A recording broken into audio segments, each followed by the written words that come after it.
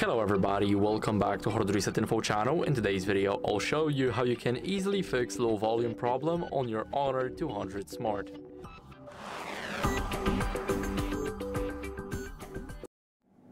So first, what you guys can do is restart your phone because rebooting can fix temporary software issues causing low volume.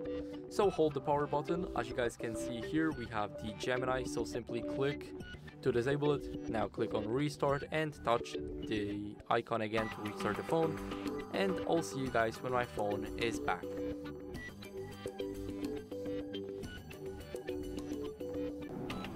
So now my phone is restarted, I'll just have to enter my PIN.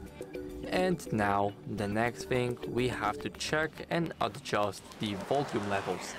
So basically bring your volume up to the max. Now go to settings and here make sure that everything is set to the max like calls and music videos and games. So that's enough. Now here we will need to disconnect headphones or Bluetooth devices because audio might be routed to a connected device in our phone at the same time causing low volume. So first unplug your wired headphones or simply turn off Bluetooth in the settings.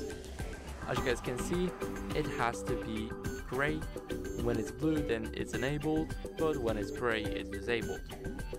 Now if this didn't help, then clean speaker and the headphone ports because dust or lint or debris can block the sound. So use a soft brush or compressed air to clean speaker grills and the headphone or the USB-C ports. The headphone port is of course the 3.5mm jack. So yeah.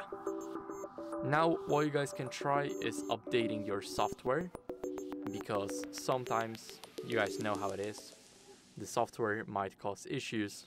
So what we want to do is go over the settings, system and updates almost at the bottom, click the software update, and now we need to wait.